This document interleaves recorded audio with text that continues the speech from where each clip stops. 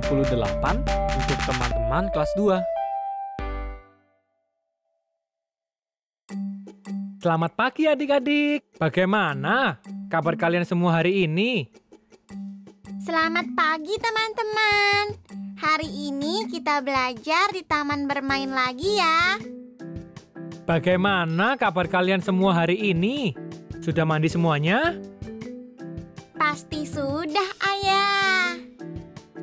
Bagus.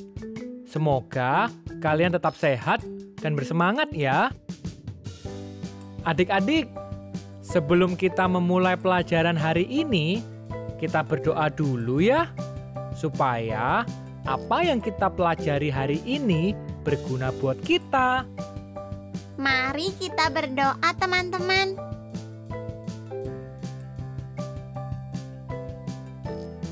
Berdoa selesai. Jingga, sekarang hari apa? Hari Jumat, Ayah. Tanggal berapa? Hmm, tanggal berapa ya, teman-teman? Adik-adik, coba amati kalender yang ada di dekat kalian. Beritahu Jingga sekarang tanggal berapa. Wah, terima kasih teman-teman. Sekarang adalah hari Jumat, tanggal 26 Maret 2021, Ayah. Hari ini kita akan belajar apa, Ayah? Hari ini kita masih akan belajar tentang bagaimana pelangi terbentuk. Kalian ingat tidak, teman-teman? Bagaimana pelangi terbentuk? Kita sudah mempelajari ini kemarin. Pelangi akan terbentuk jika ada sinar matahari yang melintasi titik-titik air hujan. Perlintasan sinar itu akan membentuk warna-warna pelangi. Agar kita bisa melihat pelangi, kita harus berdiri pada posisi yang tepat. Pastikan di depan kita ada rintik-rintik hujan dan matahari bersinar dari belakang kita. Jadi, kita berada di antara matahari dan hujan. Pada posisi inilah kita baru bisa melihat pelangi dengan jelas. Hebat! Penjelasan kamu benar sekali. Sekarang bisa kita mulai pelajarannya, Ayah. Kamu sudah tidak sabar ya? Iya, Ayah. Kalian juga kan, teman-teman? Supaya belajarnya lebih semangat, bagaimana kalau kita bernyanyi dulu? Wah, akan bernyanyi, teman-teman. Mau bernyanyi lagu apa, Ayah? Tentunya lagu tentang pelangi. Wah, aku jadi tidak sabar ingin menyanyikannya. Sebentar ya Jingga. Adik-adik, ajak ayah bunda kalian untuk ikut bernyanyi ya. Lagu ini akan lebih menyenangkan kalau dinyanyikan bersama-sama. Ayo teman-teman, ajak ayah bunda kalian. Ayo, kita bernyanyi dengan riang gembira.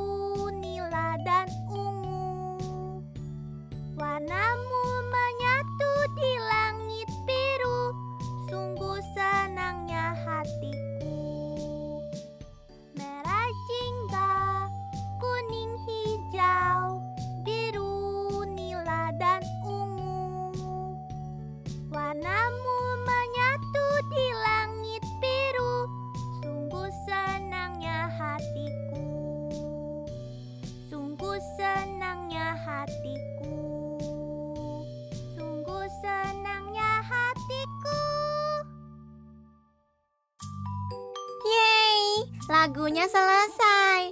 Aku suka sekali lagunya, Ayah. Bagaimana adik-adik? Tambah semangat belajarnya sekarang? Jingga juga jadi semangat. Ayo kita mulai belajarnya, teman-teman. Perhatikan gambar payung ini, teman-teman. Warna payung-payung ini seperti pelangi, kan?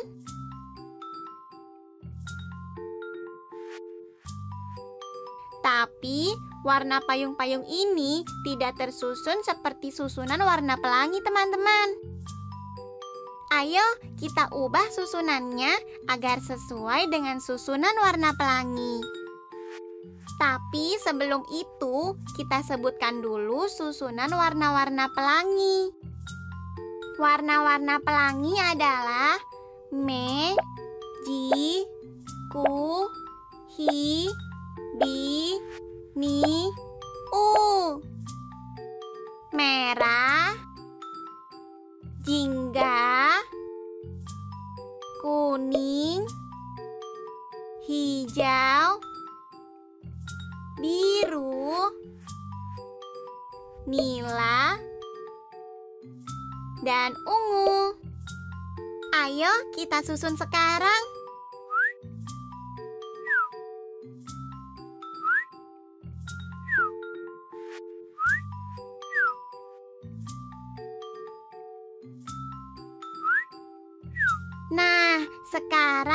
Payung-payung ini sudah tersusun sesuai dengan warna pelangi.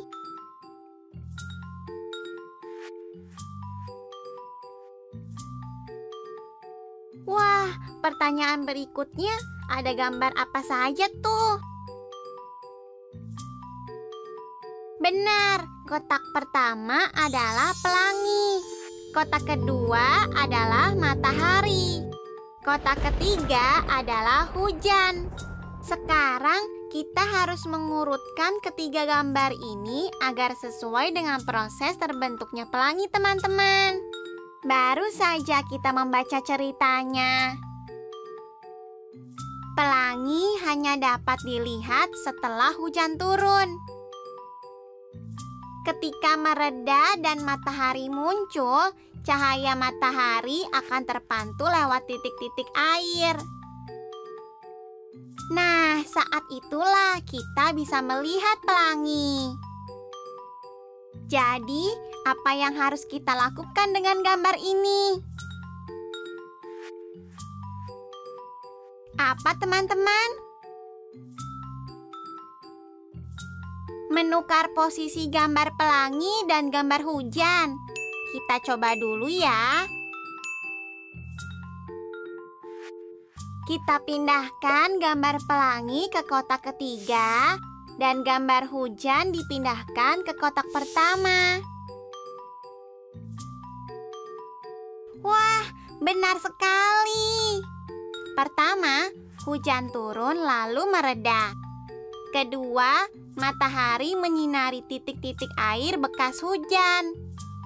Ketiga, pantulan warna pelangi akan terlihat di langit. Kalian hebat, teman-teman.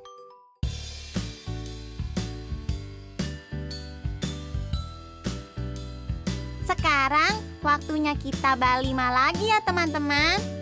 Ayo kita baca sama-sama. Punya malam tentang ya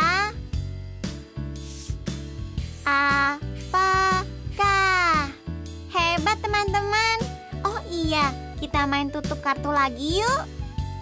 Nanti kita akan pilih satu per satu kartu untuk dibuka. Saat dibuka, kita baca bersama kata yang tertulis di kartu itu. Siap teman-teman? Kita buka kartu nomor berapa ya? Nomor 3 Baca yang lantang ya. Satu, dua, tiga. Tentang. Selanjutnya nomor berapa? Nomor lima. Oke. Satu, dua, tiga. Apakah? Tiga kartu lagi teman-teman. Apa? Nomor dua. Kita baca ya. Malam. Hebat teman-teman. Selanjutnya nomor berapa? Oke, nomor satu dulu, setelah itu nomor empat ya. Satu, dua, tiga. Punya. Kartu terakhir. Satu, dua, tiga. Ya. Kita sudah selesai membaca lima kata dengan benar. Aku dan ayah belum sarapan teman-teman, tapi kami membawa bekal. Setelah ini, kami akan kembali ya adik-adik.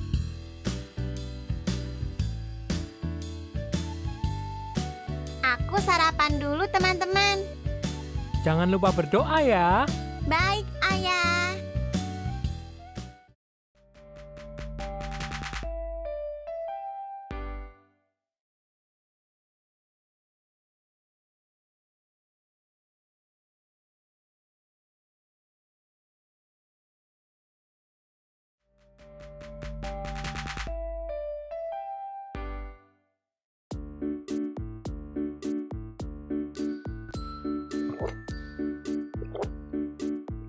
Sudah kenyang, Jingga? Sudah ayah. Masakan ibuku enak sekali teman-teman. Kalau sudah semangat, kita mulai belajar lagi ya.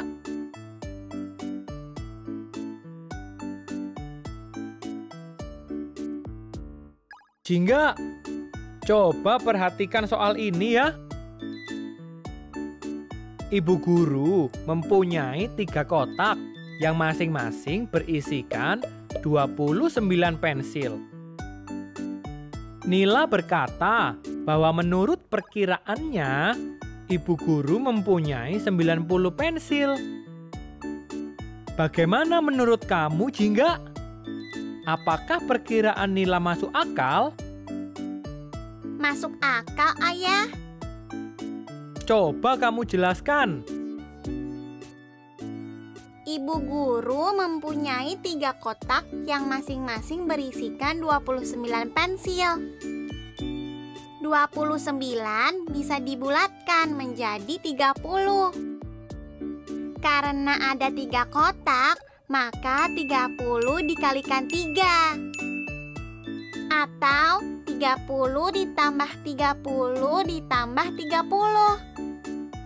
Hasilnya adalah 90 ayah. Maka perkiraan Nila benar. Ibu guru kira-kira punya 90 pensil. Benar sekali. Hebat.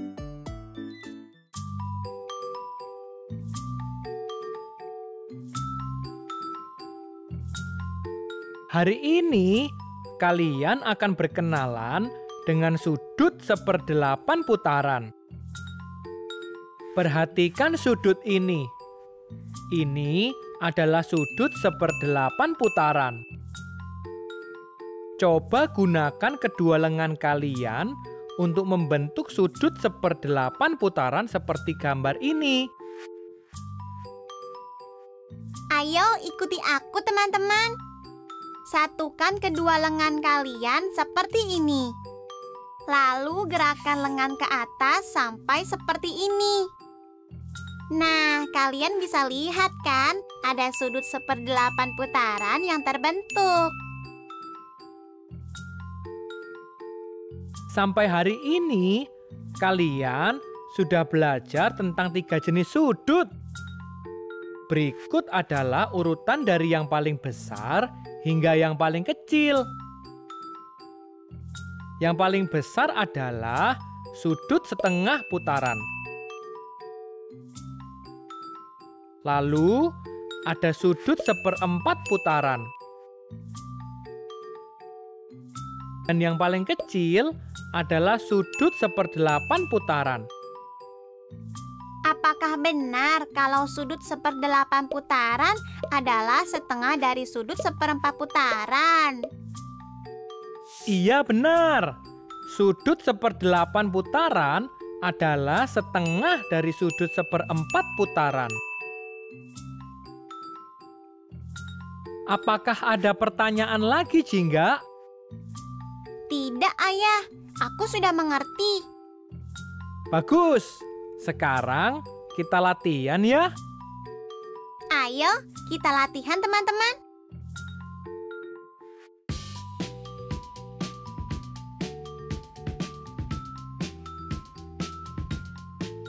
Perhatikan dulu penjelasan ayah ya. Baik, Ayah. Kalian juga perhatikan ya teman-teman. Ayah Melki adalah seorang pilot. Pesawatnya sekarang ada di Banjarmasin, Kalimantan Selatan. Coba bantu ayah Melki mengarahkan pesawatnya. Wah, latihannya menyenangkan ya teman-teman. Jika ayah Melki harus membawa penumpang ke kota Manado, Sulawesi Utara, berapa sudut ayah Melki harus memutar pesawatnya? Ayah Melki harus memutar pesawatnya seperdelapan putaran ke kanan, Ayah. Betul sekali. Jika ayah Melki harus membawa penumpang ke kota Manokwari, Papua, berapa sudut ayah Melki harus memutar pesawatnya? Ayah Melki harus memutar pesawatnya seperempat putaran ke kanan, Ayah. Benar lagi.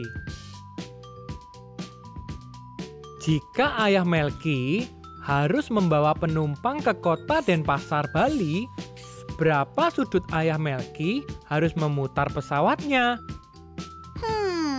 Berapa ya teman-teman? Ayah Melki harus memutar pesawatnya ke belakang. Apa teman-teman?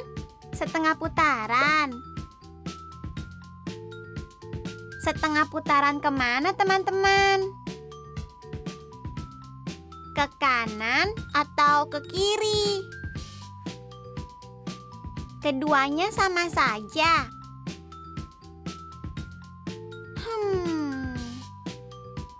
Kita coba ya.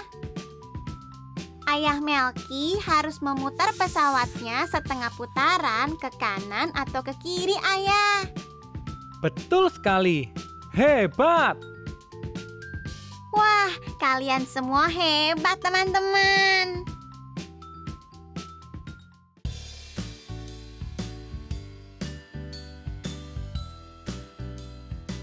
Selamat pagi, teman-teman. Seperti biasa, aku akan mengingatkan kalian tentang proyek akhir minggu kita, yaitu melakukan percobaan sederhana membuat pelangi. Kalian sudah aku beritahu bagaimana caranya membuat pelangi. Ada dua cara yang sudah aku tunjukkan.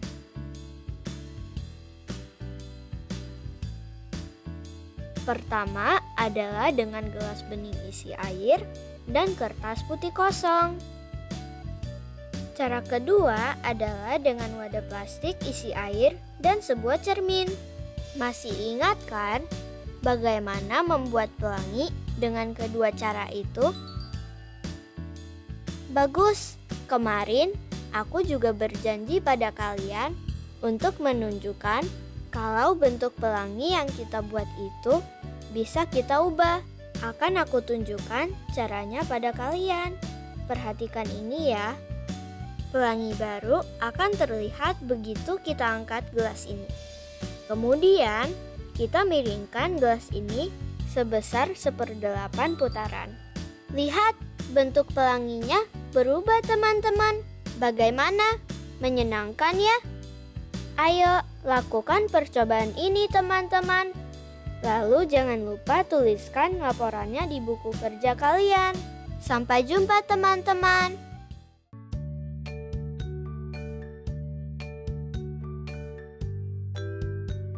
Bagaimana perasaan kamu setelah belajar hari ini, Jingga?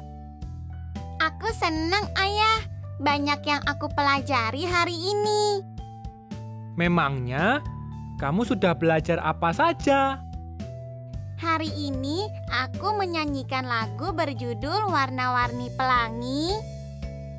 Belajar lagi tentang bagaimana pelangi terbentuk dan membaca lima kata. Selain itu, aku juga belajar dan latihan menjawab soal tentang sudut seperdelapan putaran ayah. Nanti di rumah kamu pelajari lagi ya. Baik, ayah. Kalian juga teman-teman, pelajari kembali pelajaran hari ini ya. Adik-adik, minggu depan kalian akan mempelajari hal-hal yang lebih seru dan menarik lagi.